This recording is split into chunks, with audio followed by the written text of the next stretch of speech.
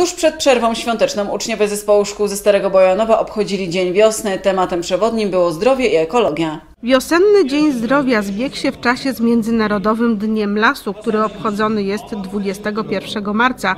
Stąd obecność w szkole Zbigniewa Mikołajczaka z Nadleśnictwa Kościan.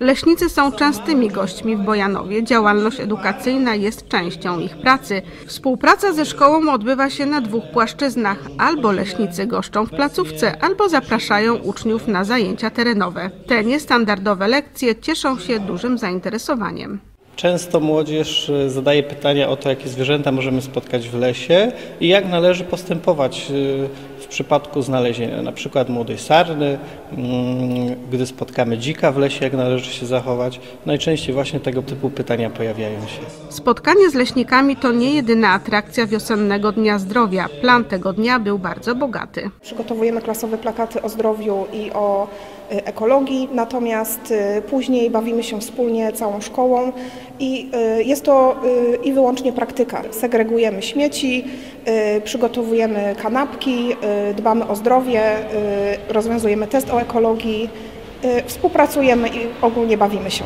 Powszechnie wiadomo, że śmiech to zdrowie. Uczniowie tego jednego dnia postanowili przebrać się za dziewczyny.